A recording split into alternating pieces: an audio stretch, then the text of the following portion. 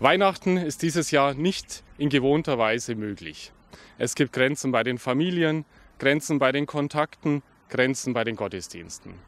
Wir vom Bistum Augsburg möchten Sie dabei unterstützen, dass Sie Weihnachten zu Hause in guter Weise begehen können, dass Ihnen die Botschaft von der Krippe auch zu Hause nah sein kann, dass Sie ein Stück von diesem Licht von Weihnachten erspüren können.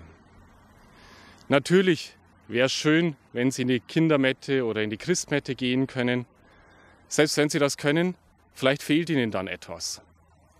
Deswegen haben wir auf diesem YouTube-Kanal von Bistum Augsburg eine Playlist zusammengestellt mit einer Vielfalt von Angeboten.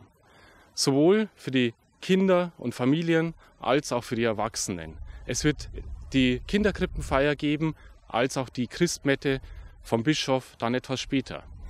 Es gibt unterschiedliche musikalische Formate. Die Orgelmusik, die Domsingknaben, auch junge Klänge.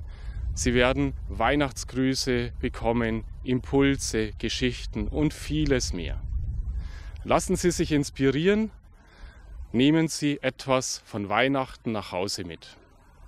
Herzlichen Dank an dieser Stelle allen, die sich in den letzten Tagen und Wochen teils mit Hochdruck an die Sache gemacht haben aus den Diözesanenstellen, aus den Gemeinden, aus den kirchlichen Einrichtungen, hauptamtlich wie ehrenamtlich.